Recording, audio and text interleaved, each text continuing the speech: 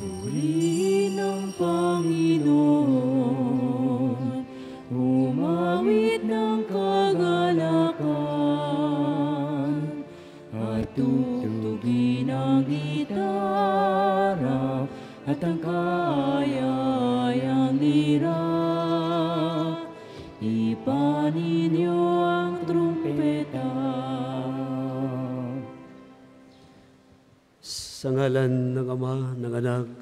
Espiritu Santo, Amen.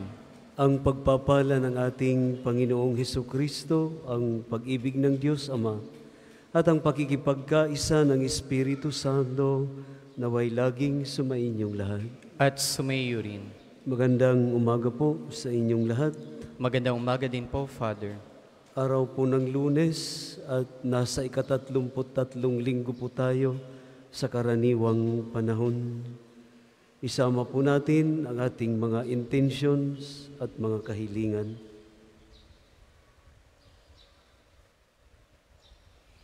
Upang tayo'y maging marapat gumanap sa banal na pagdiriwang, ating aminin ang ating mga kasalanan. Inaamin ko Sa, mga pangyarihang Diyos at, sa inyo, mga kapatid, na lubha kong nagkasala sa isip, sa salita at sa gawa, at sa aking pagkukulang. Kaya sinasamo ko sa mahal na Birheng Maria, sa lahat ng mga anghel at mga banal, at sa inyo mga kapatid, na ako'y panalangin sa Panginoong ating Diyos. Kawaan tayo ng makapangyarihang Diyos, patawarin tayo sa ating mga kasalanan, at patnubayan tayo sa buhay na walang hanggan. Amen. Panginoon,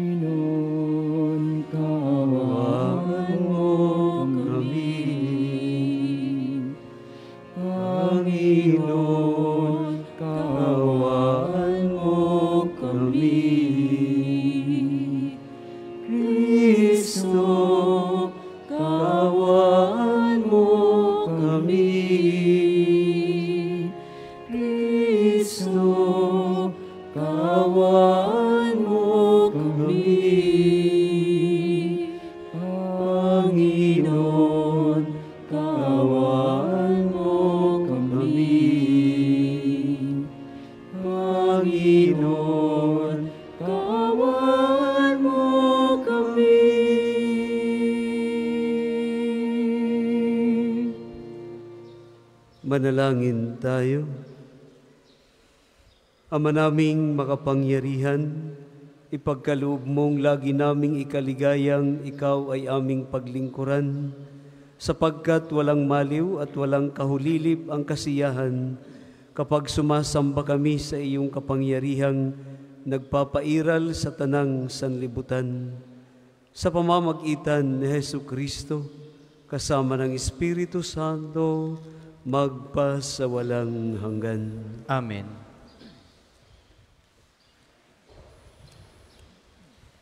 Pagbasa mula sa unang aklat ng Makabeyo. Noong mga araw na yon, may sumipot na masamang binhi. Ito'y si Antioco Epipanes, ang anak ni Haring Antioco. Siya'y isa lamang bihag sa Roma bago nagmana ng kaharian. Nagsimula siyang maghari ng taong 137. Noong kapanahonan ni Antioco Epapanes, may lumitaw ng mga masasamang Hudyo na ayaw sumunod sa kautusan. Bagkos ay inakit pa ang mga mamamayan na makipagkasundo sa mga hintil sa palibot nila. Makipagkasundo na tayo sa kanila. Wala naman tayong nakikita sa hindi pakikipagkasundo, kundi pawang kamalasan wika nila. Ang ganitong panukala ay nagustuhan ng marami at ang ilan sa kanila'y agad nagpunta sa hari upang humingi ng pahintulot na sumunod sa mga tuntuning hentil. Pumayag naman ang hari. Nagtayo sila ng isang malaking palaruan sa Jerusalem. alinsunod sa kaugalian ng mga hintil. Gumawa sila ng paraan para mapawi ang bakas ng kanilang pagkatuli at pati ang banal na tipan ay kanilang kinaligtaan. Ano pat nakaisa na sila sa lahat ng masasamang gawain ng mga hentil. Ang hari ay nagpalabas ng isang kautusan para sa buong kaharian. Iniutos niyang maging isa ang tuntunin sa bansa Kaya't ipinagbawal niya ang dating kautusan at ang relihiyon. Lahat ng hentil ay sumang-ayon at marami ring Israelita ang sumunod. Naghandog din sila sa mga Diyos-Diyosan at nilabag ang araw ng pamamahinga. Noong taong sandaat apat lima, ikalabing lima ng buwan ng Kislev, Si Haring Antioco ay nagpatayo ng kapalas, kalapastanganang walang kapantay sa altar na pinagsusunugan ng mga hain. Nagpatayo rin siya ng mga dambanang pagano sa lahat ng lungsod sa palibot ng Hudeya. Kahit sa mga harap ng bahay at mga lansangan, pinagsusunog ng kam- kamanyang ang mga tao. Lahat ng nakitang mga balumbo ng kautusan ng Diyos ay sinira at sinunog. At ang sino mang mahuling nagtataglay ng balumbo ng tipan o sumusunod sa kautusan ay ipinapatay. Sa kabila ng lahat ng ito, marami pa ring mga Israelita ang nanatiling tapat at hindi kumain ng anumang pagkain marumi. Matamis pa sa kanila ang mamatay, kaya maging, kaysa maging marumi dahil sa pagkain ng mga hindi ipinahihintulot ng kautusan at kaysa sumuay sa banal na tipan. Marami nga ang namatay sa kanila. Katakot-takot na hirap ang dinanas ng buong Israel ang salita ng Diyos. Salamat sa Diyos. Salmong tugunan, Poon ako'y lingapin mo, ang utos mo'y susundin ko. Poon ako'y lingapin mo, ang utos mo'y susundin ko. Nag-aapoy ang galit ko sa tuwi kong mamamalas, yaong mga masasamang lubalabag sa iyong batas. Poon ako'y lingapin mo, ang utos mo'y susundin ko. Silang mga masasama, kahit ako ay gapusin, ang bigay ng mga utos ay di ko rin lilimutin. Poon ako'y lingapin mo, ang utos mo'y susundin ko. Ang sino mang naghahangad na ako ay alipinin, iligtas mo ang lingkod mo't ang utos mo ang susundin. Poon ako'y lingapin mo, ang utos mo'y susundin ko. Palapit na ang palapit ang sa akin umuusig, mga taong balanggalang sa utos mong isinulit. Poon ako'y lingapin mo, ang utos mo'y susundin ko. Iyang mga masasama, tiyak na di maliligtas, dahilan sa kautusang hindi nila ginaganap. Poon ako'y lingapin mo, ang utos mo'y susundin ko. Nagdaramdam akong labis kapag aking namamasdan, yaong mga taong taksil na laban sa kautusan. Poon ako'y lingapin mo, ang utos mo'y susundin ko. Ang lahat po'y magsitayo.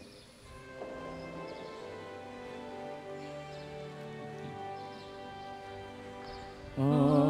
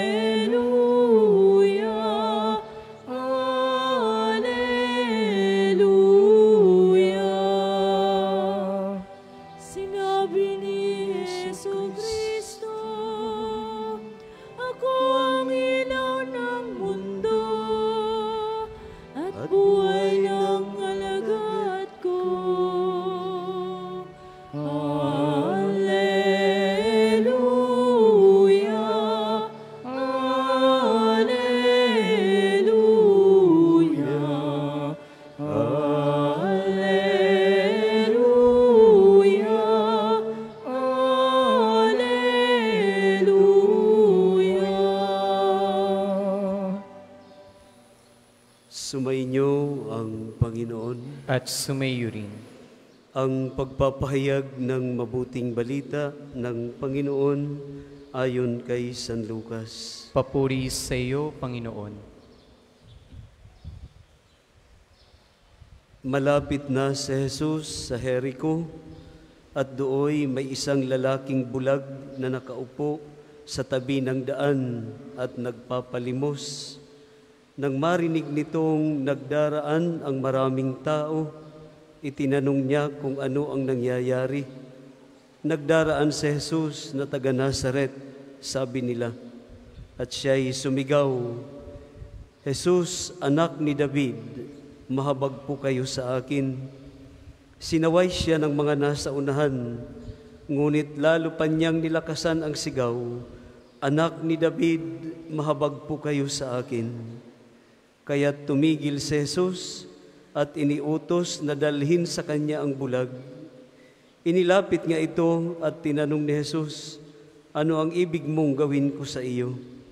Panginoon, ibig ko po sanang manumbalik ang aking paningin.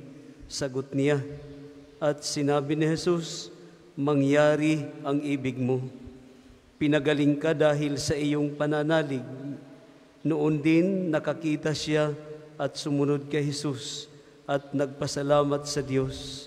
Nang makita ito ng mga tao, silang lahat ay nagpuri sa Diyos. Mga kapatid, ang mabuting balita ng Panginoon. Pinupuri ka namin, Panginoong Heso Kristo. Maligayang pagdating sa pambansang dambana at parokya ni Santo Padre Pio.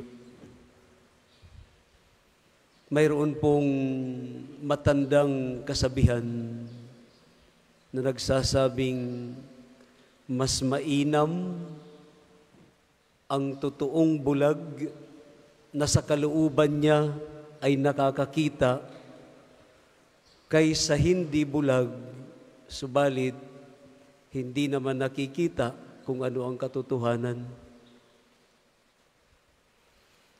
At applicable ang kasabihan na ito sa ating ibanghelyo ngayon. Dalawang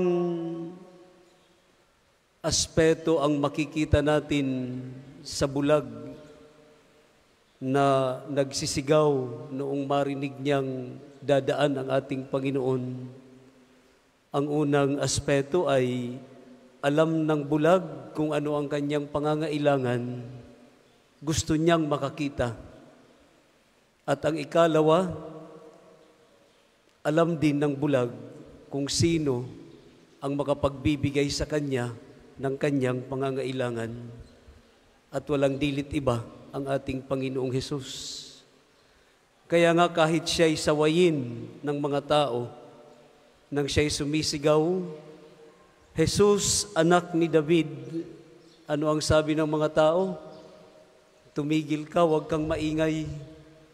Subalit mas lalo pa niyang nilakasan ang kanyang tinig. Mas lalo siyang sumigaw, anak ni David, at ang mga katagang anak ni David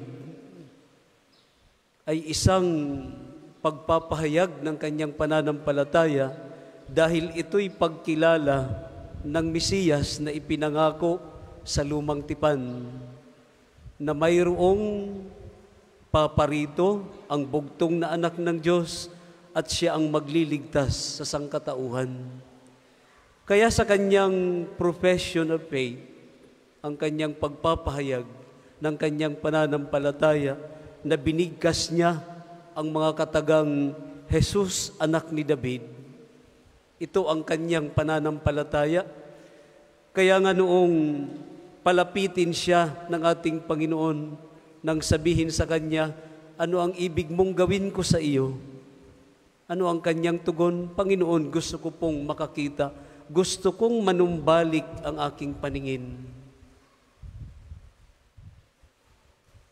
At ang irony na sinasabi ko po doon sa ating kataga, ang mga taong nandoon na dapat sila ang maging sanhi Sila ang maging instrumento para matulungan ang bulag na makakita.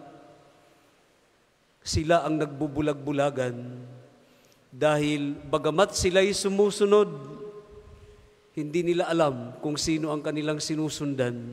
At makikita naman po natin ito sa patuloy na pagbabasa ng Ibanghelyo na kung saan ang kanilang sinusundan lang dahil miracle worker ang ating Panginoon. Subalit, ang kanilang pananampalataya ay hindi kagaya ng bulag na sumisigaw. Kung pinakinggan niyo po ang ating unang pagbasa, si Antioco Epipanes, siya ang naging dahilan, impluensyadong tao makapangyarihan dahil hari, anak siya ni Haring Antioco na siya ang sumunod. Subalit ano ang ginawa niya sa kanyang pagiging hari?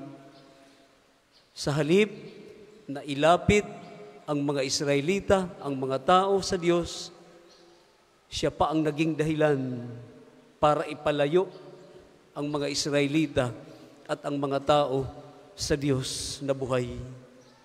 Kaya nga ano ang sabi sa bandang hulihan? Katakot-takot ang nangyari sa mga Israelita sa kamay ng Haring Antiochus Epiphanes. Marahil ay kung titingnan po natin ang hamon sa atin ng ating Panginoon sa ating Ibanghilyo ngayon, itanong din po natin sa ating mga sarili, tayo ba ay nagiging sanhi para ang mga tao ay lumapit sa Diyos o ilapit sa Diyos? O kaya naman, tayo ang nagiging sanhi para ang mga tao ay mawalan ng pananampalataya, para ang mga tao ay lumayo sa Diyos. Sabi ko nga sa kasabihang mas mainam ang bulag na nakakikita sa kanyang kalooban kaysa taong totoong nakakakita, subalit bulag naman sa katotohanan. Si Marcos ay pinangalanan ang bulag na ito at ito'y si Bartimeo. Si Bartimeo, noong siya'y makakita, inialay niya ang kanyang buhay sa ating Panginoon. Sumunod sa ating Panginoon at naging dahilan para maraming tao ang kanyang maakay, maraming tao ang sumunod sa ating Panginoon. Marahil ito ang paanyaya sa atin ng ating Panginoon sa araw na ito, na tayo'y maging sanhi para akayin ang mga tao palapit sa Kanya, hindi palayo sa Kanya. Nawa, hindi po tayo maging mga hindrance, maging obstacle para sa paglapit ng ating kapwa sa Panginoon, manapay maging instrumento tayo para ang ating kapwa ay maakay sa tunay na pananampalataya. Amen. Para sa maghahandog ng sobre, pakihulog na lamang po sa buslo.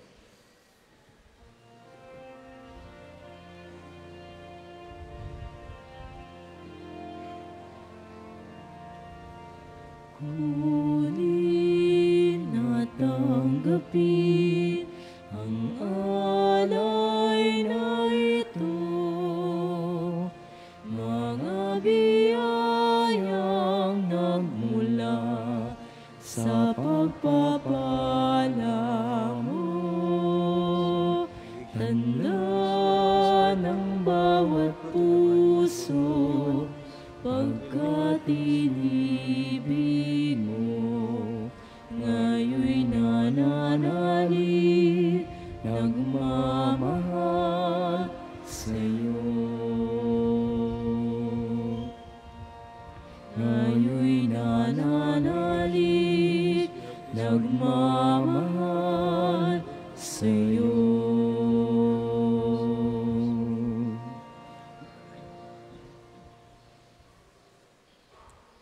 Magsitayo po ang lahat. Manalangin kayo mga kapatid upang itong ating paghahain ay kalugdan ng Diyos amang makapangyarihan.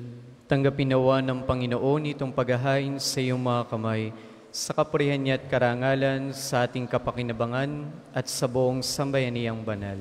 Ama naming lumikha, ipagkaloob mo ang iyong masintahing pagtingin sa aming mga alay, upang ang kagandahang loob mo ay aming makamtan, at ang bunga ng walang hanggang pag-iral ay aming mapakinabangan.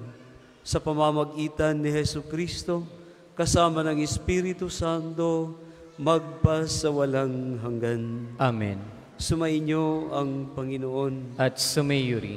Itaas sa Diyos ang inyong puso at diwa. Itinaas sa namin sa Panginoon. Pasalamatan natin ang Panginoong ating Diyos. Marapat na siya'y pasalamatan. Ama naming makapangyarihan, tunay ngang marapat na ikaw ay aming pasalamatan sa pamamagitan ni Heso Kristo na aming Panginoon. Utang na loob ang nagbubunsod upang gunitain ang kamatayan niya para kami ay buhayin. Pagtitiwala ang sanhi ng ligayang di malilimot sa pagkabuhay niyang sa amin ay kaloob. Pag-asa ang dahilan ng pagiging handa para sa pagbabalik niyang totoong dakila. Kaya kaisa ng mga anghel na nagsisiawit ng papuri sa iyo nang walang humpay sa kalangitan, kami nagbubunyi sa iyong kadakilaan.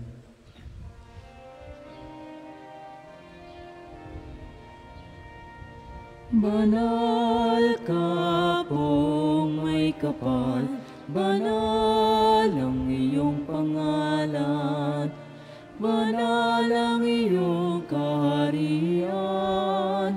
Langit lupa'y nagpupugay sa iyong kadakilan. Dinarakilan ng lahat ang naparito mong anak na siyang nagmulat sa bulag sa pilayay nagpalakad at nakiramay sa lahat. Kung hindi kayang lumuhod, manatiling nakatayo na may paggalang. Ama naming banal, ikaw ang bukal ng tanang kabanalan. Kaya't sa pamamagitan ng iyong Espiritu, gawin mong banal ang mga kaloob na ito upang para sa amin ay maging katawan at dugo ng aming Panginoong Heso Kristo. Bago niya pinagtiisang kusang loob na maging handog, hinawakan niya ang tinapay, pinasalamatan kanya. Pinaghati-hati niya iyon, iniabot sa kanyang mga alagad at sinabi, Tanggapin ninyong lahat ito at kanin, ito ang aking katawan na ihahandog para sa inyo.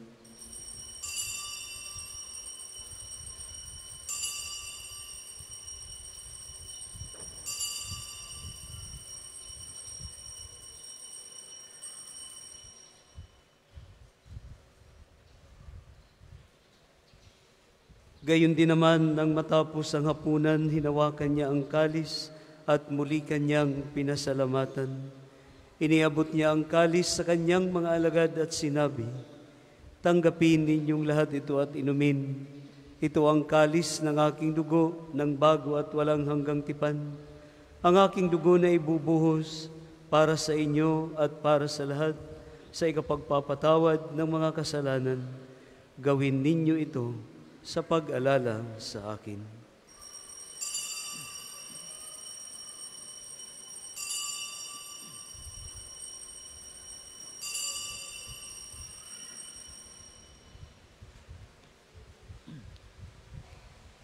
Ang misteryo ng pananampalataya.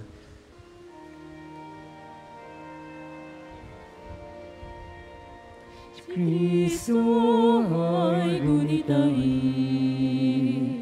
sarili ay inihain, bilang pagkain inumin, pinagsasaluan natin, hanggang sa siya'y dumating. Ama, ginagawa namin ngayon ang pag-alala sa pagkamatay at muling pagkabuhay ng iyong anak. Kaya't iniaalay namin sa iyo ang tinapay na nagbibigay buhay at ang kalis na nagkakaloob ng kaligtasan. Kami nagpapasalamat dahil kami iyong minarapat na tumayo sa harap mo para maglingkod sa iyo. Isinasamo namin kami magsasalo-salo sa katawan at dugo ni Kristo ay mabuklod sa pagkakaisa sa pamamagitan ng Espiritu Santo. Amalingapin mo ang iyong simbahang laganap sa buong daigdig Puspusin mo kami sa pag-ibig. Kaisa ni Francisco na aming Santo Papa, ni Gilbert na aming obispo at ng Tanang Kaparian. Alalahanin mo rin ang mga kapatid naming nahimlay nang may pag-asang sila'y muling mabubuhay, gayon din ang lahat ng mga pumanaw. Kaawaan mo sila at patuloyin sa iyong kaliwanagan. Kaawaan mo't magindapatin kaming lahat na makasalo sa iyong buhay na walang wakas, kaisa ng mahal na Berhing Maria na ina ng Diyos, si San Jose ang kanyang banal na espuso, ang mga apostol at ang lahat ng mga banal na namuhay dito sa daigdig ng kalugod-lugod sa iyo, maipagdiwang nawa namin ang pagpupuri sa ikararangal mo sa pamamagitan ng iyong anak na aming Panginoong Heso Kristo. Sa pamamagitan ni Kristo, kasama niya at sa Kanya, ang lahat ng parangal at papuri ay sa iyo, Diyos amang makapangyarihan, kasama ng Espiritu Santo, magpa sa walang hanggan. Amen. Amen.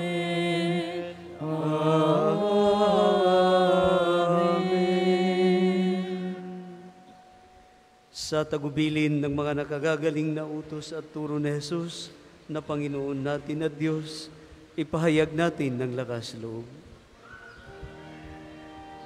Ama namin, sumasalangit ka. Sambahin ang ngalan mo.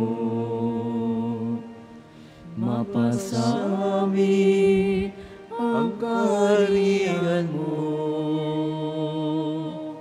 Sundin ang loob mo dito sa lupa para nang sa langit. Bigyan mo kami ngayon ng aming kakanin sa araw-araw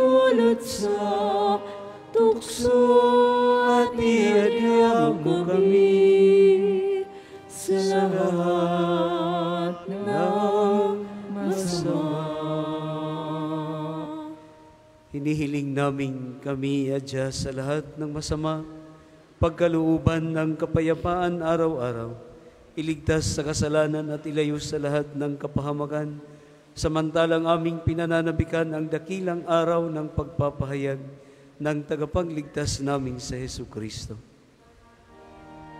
Sapagkat iyong kaharian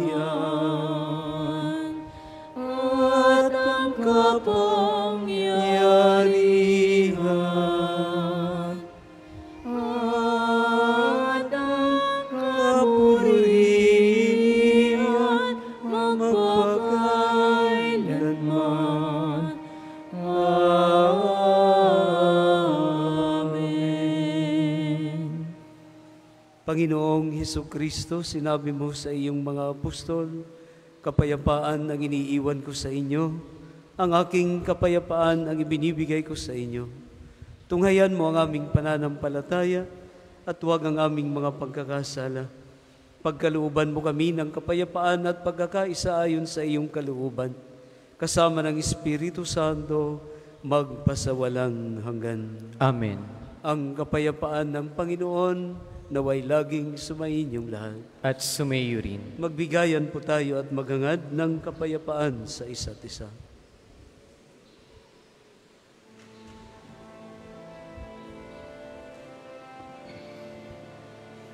Cordero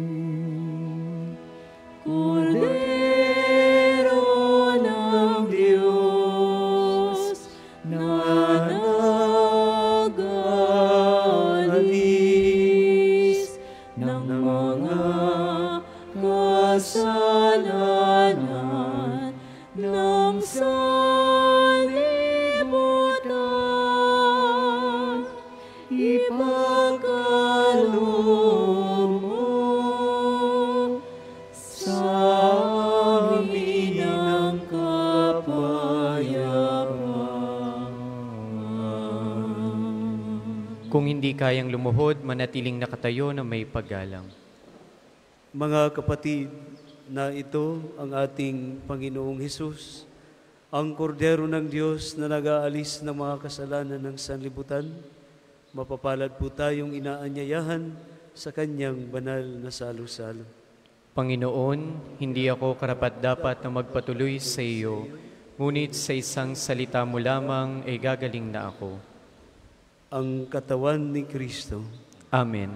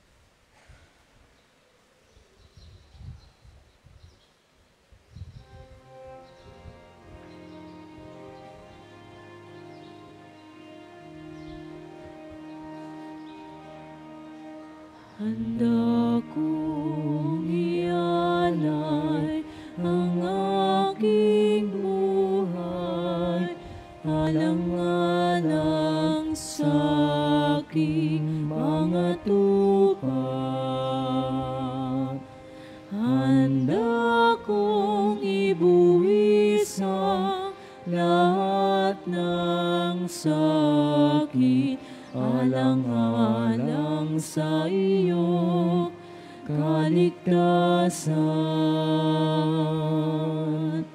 Batid ko kung sino ikaw.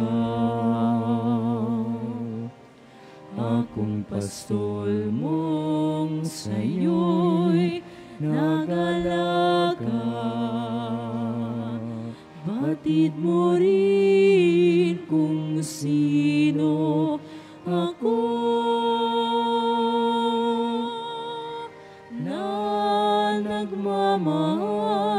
sa iyong lubos.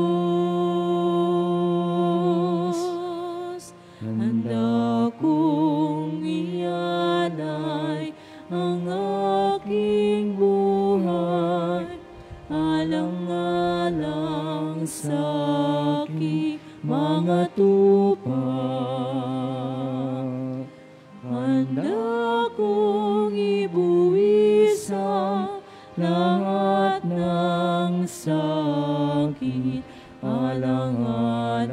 sa iyo kaligtasan. Kahit na mawalay sa aking piling, ikaw ay aking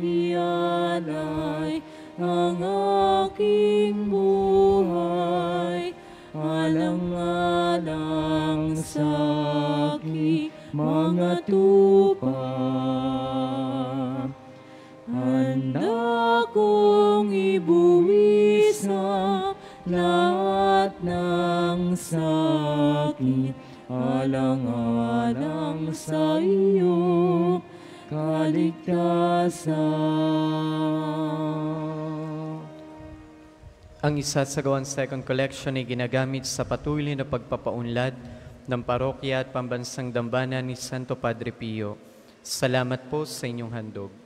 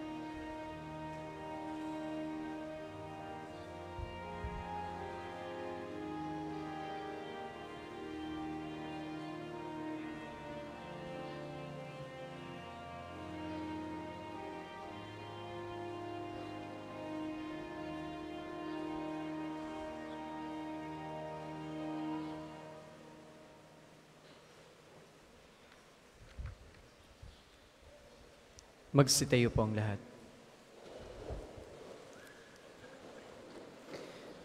Manalangin tayo. Ama naming mapagmahal, sa pinagsaluhan naming banal na pakikinabang, ang amin nawang pag-ibig ay lalong madagdagan nang ginawa naming pag-alala sa anak mong mahal na nag-utos ipagdiwang ang huling hapunan sa pamamagitan ni Heso Kristo kasama ng Espiritu Santo magpasawalang hanggan. Amen. Panalangin ng pagtitiwala kay Santo Padre Pio, tayo pong lahat. Padre Pio, taga Pietrelcina, mongheng banal, pintakasing santo na milenyong kasalukuyan. Gabay namin sa pagtahak sa landasing makalangit, takbuhan sa pangangailangan, huwaran ng pagtitiis. Sa iyo namin inilalapit aming mga kagipitan, sa iyo po ibinibiling kalusugan at kabuhayan.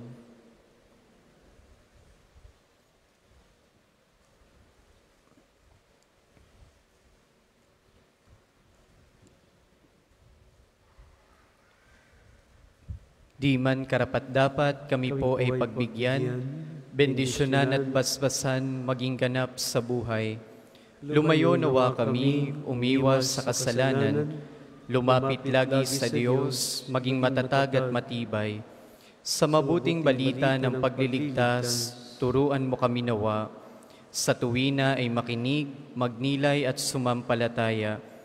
Amin pong pakiusap itong mga kahilingan, Puso ay nagsisisi, nagtitikang taimtiman. Di na muling magkasala, sunod lagi sa Diyos Amang, kaysa ng Espiritu at ni Jesus sa tagapamagitan. Amen. Ang lahat po'y magsiupo para sa ilang patalastas. Una, sa inyong pagdalaw sa pambansang dambana, mangyaring pakaingatan ng inyong mga personal na gamit. Hangad namin ang isang matiwasay at maayos sa pagbisita sa National Shrine. Ikalawa, nakahanda na po sa bandang unahan ng ating main church ang paglalagyan ng mga sobrang may pangalan ng inyong mga mahal na yumao. Buong buwan po nating ipagdarasal ang kapayapaan ng kanilang kaluluwa. Makipag-ugnayan lamang po kayo sa ating mga tagapaglingkod. Ikatlo, mga kapiyo, kami po ay humihingi ng inyong kauting oras at pakikiisa para sa pagsusulat ng pangalan at ilang detalye sa ating Pilgrim's Information Record Book na makikita sa paligid ng Divine Mercy Sanctuary, sa main church at sa main store at iba pang lugar dito sa pambansang Dambana. Ito ay bilang bahagi ng documentation program para sa pagpapalawig ng datos sa turismong pangsimbahan. Ikaapat, sa darating pong Webes ay ikadalwamput-tatlo ng buwan, ang araw ng pagpapagaling ng Panginoon sa pamamagitan ni Santo Padre Pio, ang oras ng healing mass at healing liturgy na may paggagawad ng langis ay sa ganap na ikasiyam ng umaga at ikalima ng hapon. Kayo po at ang inyong may sakit ay inaanyayahan. Ang susunod pong banal na misa ay sa ganap na ika-alas 12 ng tanghali. Maraming salamat po at mangyaring panatilihin natin ang kalinisan, katahimikan at diwa ng panalangin sa loob at labas ng ating simbahan. Magsitayo na po ang lahat para sa pagbabasbas ng religious articles. Mga kapatid, manalangin tayo sa Diyos amang makapangyarihan upang tayo ay maging kawangis ni Kristo sa taimtim na pagdalangin sa tulong ng mga larawan at ng mga dasalan. O Panginoong Diyos, Ikaw ang bukal ng lahat ng pagpapala at biyaya. Ibuhos po ninyo ang inyong bendisyon sa mga gamit na ito, maging sa mga taong mawiwisikan ng banal na tubig na ito na nagpapaalala ng iyong kabutihan, kabanalan at pagmamahal sa aming lahat, upang ang lahat na dumulog at magdasal ay magtamo ng iyong awa at biyaya. Loobin mong tularan namin ang kabanalan at aral ng Panginoon at ng mga santo, magpa sa walang hanggan. Amen. Tayo pong lahat, Ama namin, sumasalangit ka, sambahin ang ngalan mo, mapasa amin ang kaharian mo, sundin ang loob mo dito sa lupa para ng sa langit. Bigyan mo kami ngayon ng aming kakanin sa araw-araw, at patawarin mo kami sa aming mga sala, para ng pagpapatawad namin sa nagkakasala sa amin, at huwag mo kaming ipahintulot sa tukso, at iadya mo kami sa lahat ng masama. Amen. Aba, Ginoong Maria, napupuno ka ng grasya, ang Panginoong Diyos ay sumasa iyo. Bukod kang pinagpala sa babaeng lahat, at pinagpala naman ang iyong anak na si Jesus. Santa Maria, Ina ng Diyos, ipanalangin mo kaming makasalanan, ngayon at kung kami mamamatay. Amen. Luwalhati sa Ama, sa Anak at sa Espiritu Santo, kapara noong una, ngayon at magpas sa walang hanggan. Amen. Ama namin, sumasalangit ka, sambahin ang ngalan mo, mapas sa amin ang kaharian mo, sundin ang loob mo dito sa lupa para ng sa langit. Bigyan mo kami ngayon ng aming kakanin sa araw-araw, at patawarin mo kami sa aming mga sala, para ng pagpapatawad namin sa nagkakasala sa amin, at huwag mo kami ipahintulot sa tukso, at iadya mo kami sa lahat ng masama. Amen. Aba, Ginoong Maria, napupuno ka ng grasya, ang Panginoong Diyos ay sumasa iyo. Bukod kang pinagpala sa babaing lahat, at pinagpala naman ang iyong anak na si Jesus. Santa Maria, Ina ng Diyos, ipanalangin mo kaming makasalanan, ngayon at kung kami mamamatay. Amen. Luwalhati sa Ama, sa Anak at sa Espiritu Santo, kapara noong una, ngayon at magpas sa walang hanggan. Amen.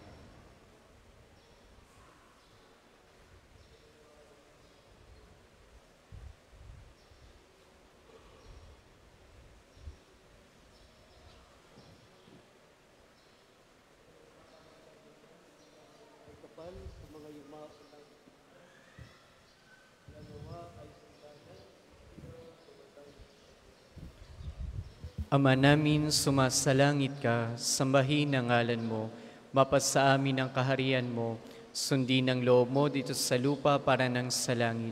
Bigyan mo kami ngayon ng aming kakanin sa araw-araw, at patawarin mo kami sa aming mga sala, para ng pagpapatawad namin sa nagkakasala sa amin. At huwag mo kaming ipahintulot sa tukso, at iadya mo kami sa lahat ng masama. Amen. Aba, Ginoong Maria, napupuno ka ng grasya, ang Panginoong Diyos ay sumasa iyo. Bukod kang pinagpala sa babaing lahat, at pinagpala naman ang iyong anak na si Jesus. Santa Maria, Ina ng Diyos, ipanalangin mo kaming makasalanan, ngayon at kung kami mamamatay. Amen. Luwalhati sa Ama, sa Anak at sa Espiritu Santo, Kapara noong una, ngayon at magpas sa walang hanggan.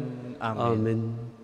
Sumainyo ang Panginoon At sumayo rin. at pagpalain po kayong lahat ng makapangyarihang Diyos, ang Ama, Anak at ang Espiritu Santo. Amen. Naialay na po ang banal na misa, humayo kayong mapayapa. Salamat, sa, Diyos.